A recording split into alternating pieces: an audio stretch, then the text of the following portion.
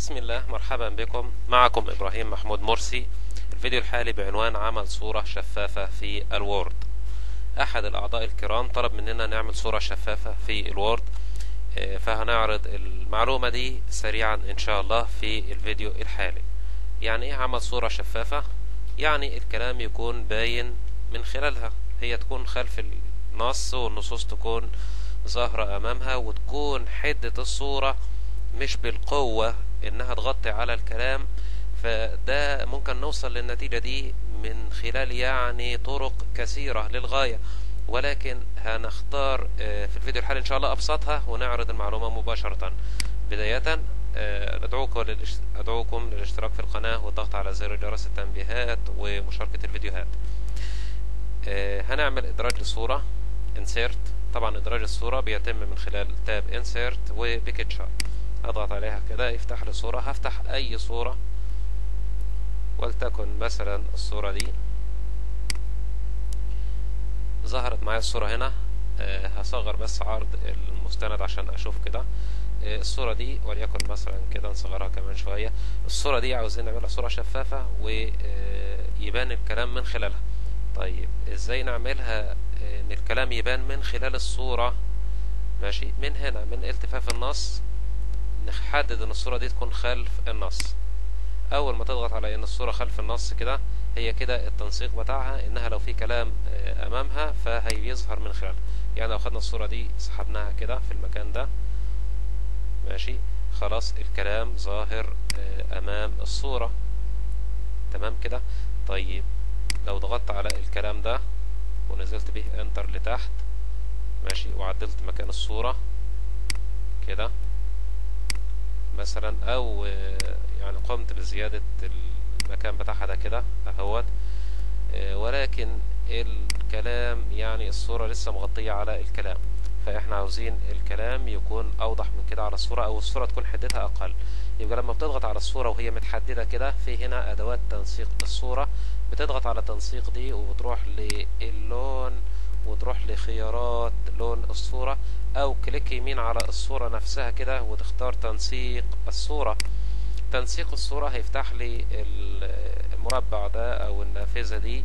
عندي سطوع وتباين في تصحيحات الصورة. طبعا الكلام ده في ال Office اللي أنا شغال عليه اللي هو Office الواجهة بتاعته عربية والإصدار بتاعه 2010 قد يكون عند حضرتك الخيارات دي مختلفة عن كده شوية لأن الإصدار الم- المختلف.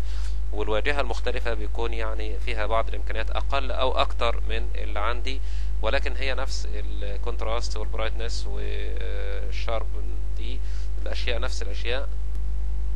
هنزود التباين آه، هنقلل التباين ونزود السطوع. كده طبعا الخيارات بتبان معاك في الصورة. ماشي آه، هنا وممكن من القوائم دي الأسهم دي الزيادة والنقصان ماشي؟ ويتم التطبيق مباشرة على الصورة الحالية. تمام؟ طيب وإيه كمان؟ زيادة النعومة دي برضو ممكن إن أنت تعملها إنقاص كده فتظهر معاك الصورة آه، أوضح.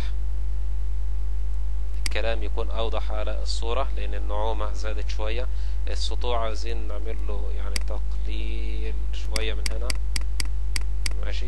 والتباين نعمل له أيضا يعني هو بالسالب كده نخليه يعني نزود شوية عشان يكون أوضح. آه، يعني بالطريقة ديت دي أسهل طريقة في ال Word مباشرة آه، للوصول للمطلوب. ولكن هنا هتجيب لنا مشكلة صغيرة إن الصورة دي يعني ممكن طالما هي خلف النص لو في نصوص كتير هنا مش هتعرف توصل لها. لو ضغطت double, double click عليها كده أو click عليها مش عارف توصل لها. أنا بضغط كليكات أهو.